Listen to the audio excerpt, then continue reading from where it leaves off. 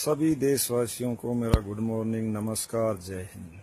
देशवासियों, मैं आपसे एक अनुरोध करना चाहता हूँ। मैं बीएसएफ उनतीस बटालियन सीमा सुरक्षा बल का जवान, जो कि हम लोग सुबह छह बजे से शाम को इस बर्फ़ के अंदर पाँच बजे तक कंटिन्यू ग्यारह घंटे ड्यूटी वो भी स्टैंडिंग खड़े होकर होते हैं।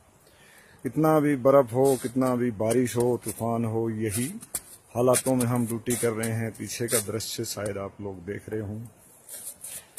फ़ोटो में शायद आपको बहुत अच्छे लग रहे होंगे, लेकिन हमारी क्या सिचुएशन है, ना ये कोई मीडिया दिखाता है, ना कोई मिनिस्टर सुनता है, कोई भी सरकारें, हमारी हालात वही दरबत्तर हैं। मैं आपको इसके बाद तीन वीडियो भेजूँगा जिसके मैं चाहता हूँ कि आप पूरे देश की मीडिया को, नेताओं को दिखाएँ कि हमारे अधिकारी हमारे साथ कितना अत्याचार व अन्याय करते हैं।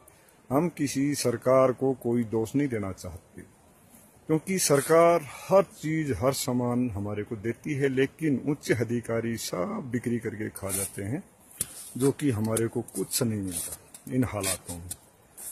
ऐसी हालात हैं? कई बार तो जवान भूखे पेट भी सोना पड़ता है। मैं सुबह का नाश्ता आपको दिखाऊँगा जो कि एक पराठा मिलता है, जिसमें ना कुछ भी नहीं है, ना अचार है, ना सब्ज़ी है, सिर्फ़ चाय के साथ।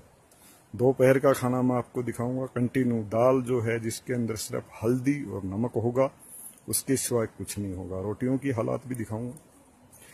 मैं फिर कह रहा हूँ, भारत सरकार सब कुछ देती है, भारत सरकार के सब कुछ आता है, स्टोर भरे पड़े हैं, लेकिन वह सब बाज़ार में चला जाता है। कहाँ जाता है, कौन बिक्री करता है, इसकी जाँच होनी चाहिए। मैं आदरणीय प्रधानमंत्री जी से भी कहना चाहता हूँ कि कृपा करके इसकी जाँच करवा दोस्तों दोस्तों, ये वीडियो डालने के बाद शायद मैं रहूँ या ना रहूँ, क्योंकि अधिकारियों के बहुत बड़े हाथ है। वो मेरे साथ कुछ भी कर सकते हैं, कोई भी कुछ भी हो सकता है, आप सोच सकते हो। इसलिए इस वीडियो को ज़्यादा से ज़्यादा फैलाएँ, पूरा शेयर करें ताकि हर मीडिया आके यहाँ जाँच करे, देखे कि किन हालातों में जवान है।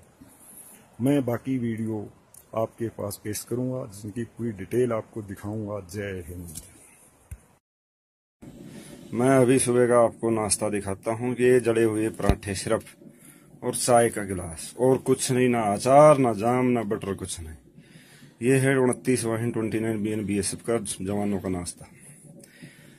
अब आप बताइए क्या ऐसा खाना खा के जवान ड्यूटी कर सकते हैं? इसलिए इस वीडियो को ज़्यादा से ज़्यादा शेयर करें और सरकार तक पहुँचाए। जय हिंद। क्या बना? हाँ? देख दाल हाँ। ये देख। तो ले आया तुम्हें। ये दाल देख वही पेशेंटों वाली कल वाली ना हल्दी है ना हल्दी हल्दी नमक बस दो ही आइटम है भाई और कुछ नहीं। सिर्फ़ हल्दी हल्दी दाल में और कुछ नहीं।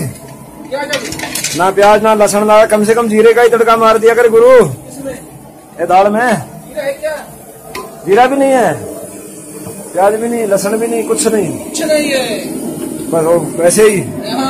मरवाओगे ऐसे ऐसे ऐसे विंटर काट बहन में हाँ। मात्र छुट्टी नहीं मिलता है समय से यही हाल है क्या करेगा तो।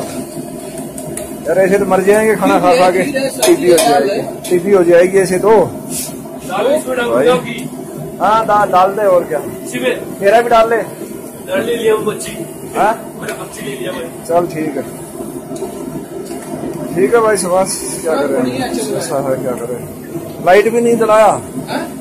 जनरेटर चला दे कम से कम लाइट तो जाए बड़ी मोटी। है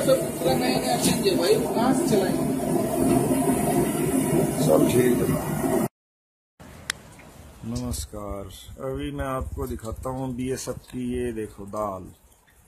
सिर्फ़ हल्दी, नमक और कुछ नहीं इसके सिवाय। दस घंटा ड्यूटी जवान करने के बाद ये दाल ना इसमें प्याज है, ना लहसुन, अदरक नहीं। कंटिन्यू दस दिन से यही दाल और ये रोटियाँ देखिए आप ये। अब आप ही बताइए, यह खाना खा के क्या एक बीएसएफ का जवान दस घंटे ड्यूटी कर सकता है? सभी अधिकारी सब सामान बाज़ार में बिक्री कर देते और ये खाना खाने के लिए मिलता है। इसलिए ये वीडियो ज़्यादा से ज़्यादा शेयर करें और भारत सरकार तक पहुँचाने की कृपा करें। मैं अपना खुद का वीडियो भी आपको दिखाता हूँ, जो मैं ये अपलोड कर रहा हूँ। अब अच्छी तरह से आप देख सकते हैं दाल।